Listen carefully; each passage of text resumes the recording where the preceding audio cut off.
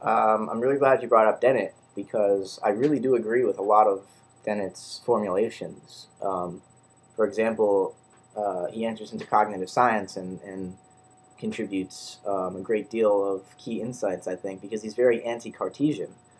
So he's against this idea that there is this mind or consciousness separate from the body or the physical material world, which I agree with because that that fragments us.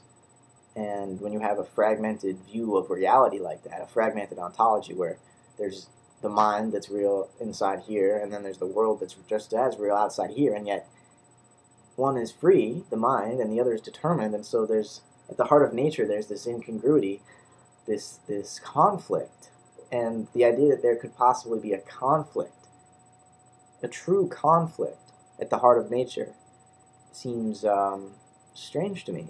Doesn't seem like the simplest explanation, which science so often looks for it doesn't seem like the most elegant, beautiful um, uh, organization either. Um, so Dennett wants to get rid of that dualism, but I think in his rush to get rid of it, he settles for one half of the dualism that cannot make sense or exist and be coherent on its own.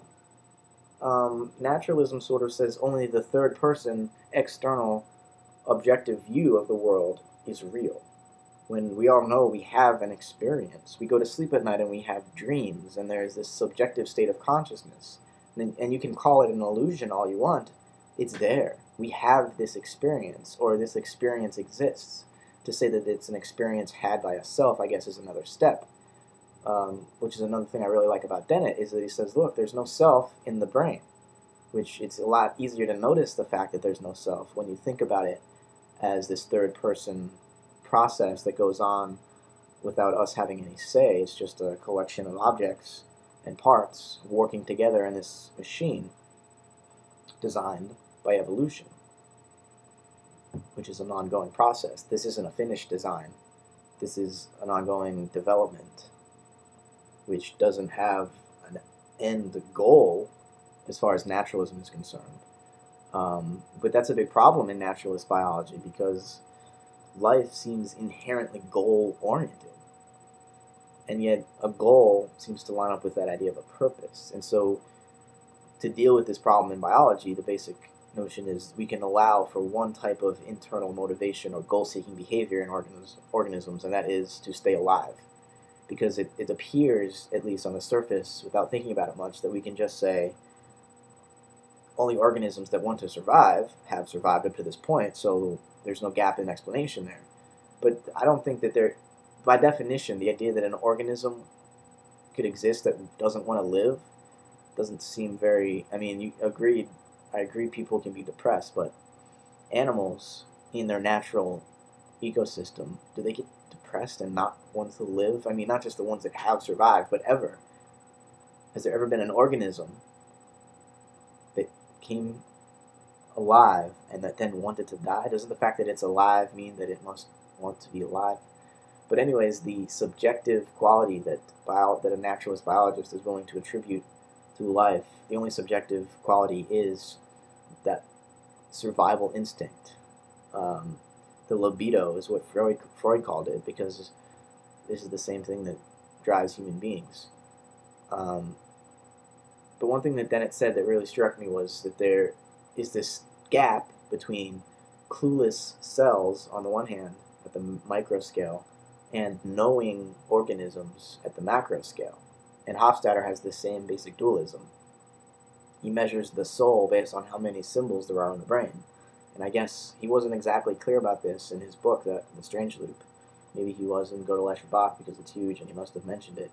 But I, I don't know if he's so much into this idea that the brain and the mind, consciousness, the symbol processing program, um,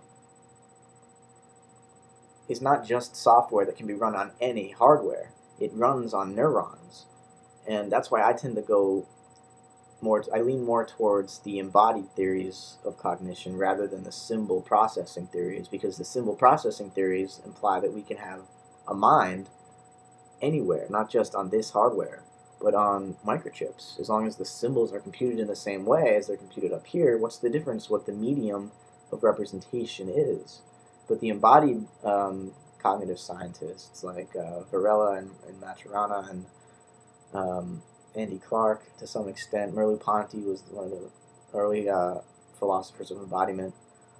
Um, I'm reading a book right now by Mark Johnson and uh, George Lakoff that is really interesting because it, what it basically says is that uh, the whole Western tradition of philosophy, which includes naturalism, is assuming a lot of things a priori that we don't find empirically from our study of the world. And their idea of what rationality is, for instance, is uh, the, that our structures of rationality are formed by the motor and perceptual apparatus in our in our brains. So we use the same neural structure to think about abstract problems as we do to walk through a room or play tennis or um, you know regulate our the motions of our bodies and the functions of our nervous system. And so rationality isn't this disembodied essence. The human mind doesn't know anything objectively. And the, the third person perspective is always a kind of hypothetical um, construct that we can never actually reach. Um, so to try to reduce everything to something that is nothing but a construct, though we can theorize all day that yes, it, uh, it exists, although we can never reach it. True. And we should investigate reality in such a way that we acknowledge that there is something there for us to discover and that we don't just create it. Because we don't just create it, it's also there for us to, to discover. The question is can we ever um, retract all interference from the results that we're going to get back? You know, you perform an experiment, you're manipulating nature in such a way that in this contained environment that's set up exactly as you have designed it, sure, you can get nature to do some pretty fascinating things. And when you're building machines and you're going, you're just going to repeat that laboratory condition in the machine, wherever the machine happens to be built, then it works, and we can build great technology out of that process of empirical investigation. But to say that we can know the world objectively is a step that I can't take, which is why I'm not a naturalist.